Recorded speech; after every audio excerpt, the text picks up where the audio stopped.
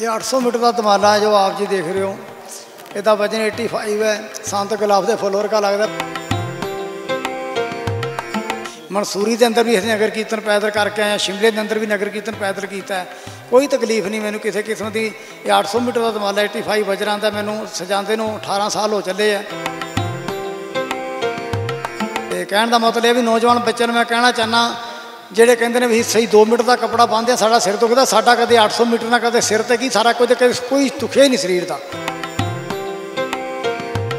ਵੀ ਜੇ ਸਿੱਖਾਂ ਦੇ ਘਰ ਜਨਮ ਲਿਆ ਬੱਚੋ ਨੌਜਵਾਨਾਂ ਨੂੰ ਸਿੱਖਾਂ ਨੂੰ ਕਹਿਣਾ ਚਾਹੁੰਦਾ ਬੱਚਿਆਂ ਨੂੰ ਵੀ ਕੇਸਾਂ ਦੀ ਬੇਦਬੀ ਨਾ ਕਰੋ, ਨਸ਼ਾ ਕਿਸੇ ਪ੍ਰਕਾਰ ਦਾ ਨਾ ਖਾਓ, ਮੱਥਾ ਗੁਰੂ ਗ੍ਰੰਥ ਸਾਹਿਬ ਤੋਂ ਸਿਵਾ ਕਿਸੇ ਨੂੰ ਨਾ ਟੇਕੋ, ਸਾਧੂ ਸੰਤਾਂ ਦਾ ਸਤਿਕਾਰ ਕਰਿਆ ਕਰੋ, ਮਾਤਾ ਪਿਤਾ ਦਾ ਸਤਿਕਾਰ ਕਰੋ ਹਾਂਜੀ ਸਿੱਖੀ ਨੂੰ ਸੰਭੋ। ਵਾਹਿਗੁਰੂ ਜੀ ਕਾ ਖਾਲਸਾ, ਵਾਹਿਗੁਰੂ ਜੀ ਕੀ ਫਤਿਹ। ਦਾਨ ਮਿਊਟ ਦੇਖ ਰਹੇ ਦਰਸ਼ਕਾਂ ਦਾ ਸਵਾਗਤ ਹੈ। ਤਾਂ ਅਸੀਂ ਸ਼ਹੀਦਾਂ ਦੀ ਧਰਤੀ ਸ੍ਰੀ ਫਤਿਹਗੜ੍ਹ ਸਾਹਿਬ ਵਿਖੇ ਖੜੇ ਹਾਂ, ਜਿੱਥੇ ਜਥੇਦਾਰ ਬਲਵੰਤ ਸਿੰਘ ਜੀ ਜਿਹੜੇ ਆ, ਉਹ ਹਰ ਸਾਲ ਦੀ ਤਰ੍ਹਾਂ ਪਹੁੰਚੇ ਨੇ।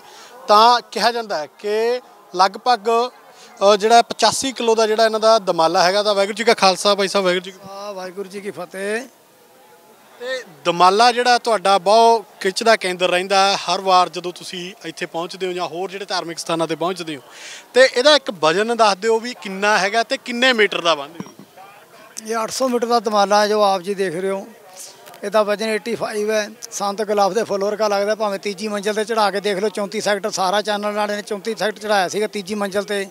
ਬਾਗੇ ਬਾਰਡਰ ਵੀ ਕਿਲੋਮੀਟਰ ਪੈਦਲ ਹੀ ਗਏ ਗੱਡੀ ਨਹੀਂ ਜਾਣ ਦਿੱਤੀ, ਨਾ ਮੇਰਾ ਕੋਈ ਹਥਿਆਰ ਜਾਣ ਦਿੱਤਾ ਸੀ ਮਿਲਟਰੀ ਨੇ ਪੰਜਾਬ ਪੁਲਿਸ ਲੈ ਕੇ ਗਈ ਸੀ। ਮਨਸੂਰੀ ਦੇ ਅੰਦਰ ਵੀ ਅਸੀਂ ਨਗਰ ਕੀਰਤਨ ਪੈਦਲ ਕਰਕੇ ਆਏ ਹਾਂ ਸ਼ਿਮਲੇ ਦੇ ਅੰਦਰ ਵੀ ਨਗਰ ਕੀਰਤਨ ਪੈਦਲ ਕੀਤਾ ਕੋਈ ਤਕਲੀਫ ਨਹੀਂ, ਮੈਨੂੰ ਕਿਸੇ ਕਿਸਮ ਦੀ ਇਹ 800 ਮੀਟਰ ਦਾ ਤਮਾਲਾ 85 ਵਜਰਾਂ ਦਾ ਮੈਨੂੰ ਸਜਾਉਂਦੇ ਨੂੰ 18 ਸਾਲ ਹੋ ਚੱਲੇ ਆ। ਤੇ ਕਹਿਣ ਦਾ ਮਤਲਬ ਇਹ ਵੀ ਨੌਜਵਾਨ ਬੱਚਿਆਂ ਨੂੰ ਮੈਂ ਕਹਿਣਾ ਚਾਹਨਾ ਜਿਹੜੇ ਕਹਿੰਦੇ ਨੇ ਵੀ ਸਹੀ 2 ਮੀਟਰ ਦਾ ਕੱਪੜਾ ਪਾਉਂਦੇ ਆ, ਸਾਡਾ ਸਿਰ ਦੁਖਦਾ, ਸਾਡਾ ਕਦੇ 800 ਮੀਟਰ ਨਾਲ ਕਦੇ ਸਿਰ ਤੇ ਕੀ ਸਾਰਾ ਕੁਝ ਕਦੇ ਕੋਈ ਦੁਖਿਆ ਹੀ ਨਹੀਂ ਸਰੀਰ ਦਾ ਕੁਝ ਵੀ ਨਹੀਂ ਦੁਖਿਆ।